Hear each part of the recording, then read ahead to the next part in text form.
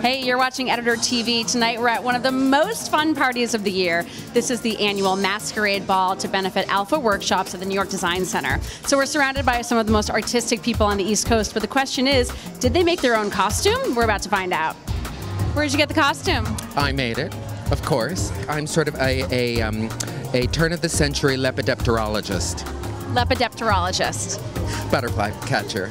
What did Alpha Workshops contribute to the party tonight? well, we did all these great big heads um, made out of paper, and they are painted. It's just like it's an opportunity for us to. Um, to just have uh, sort of pure creativity. You're, it's like make something out of nothing. It's so much fun to just like laugh at ourselves. So that's what the, that's you know aside from raising money for Alpha Workshops, that is the purpose of the party. Have fun. So are you the real or the faux chic, as the invitation asks? Real chic, darling. What does it take to be real chic? Oh, well, these hats. Everybody give me your best snob face now. Ready? Go.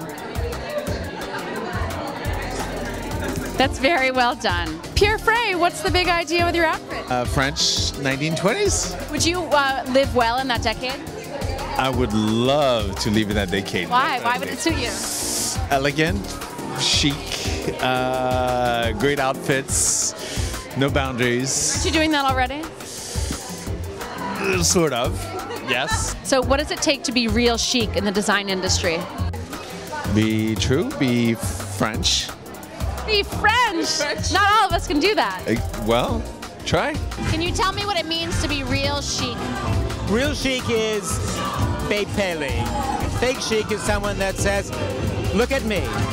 Am I not fabulous kid? And there's a whole period in French history that faux chic was in, in vogue. And it exists today, not as much, but this is it. This is your hats off to it, right? Right. I think faux chic is fabulous. The big idea is kind of French beach wrestler, boxer, you know, juggler, you know, a jack of all trades. The inspiration was to start with the eyelashes and go from there. What is in here? I got shagged by a dirty French bastard, darling. That was it. It happens. So, where's the after party tonight? Depends on what case we're after. You've been watching Editor TV at the annual New York Design Center Masquerade Ball to benefit Alpha Workshops, which is these amazing decorations. Thanks so much for watching. I'm Sophie Donelson. We'll see you next time.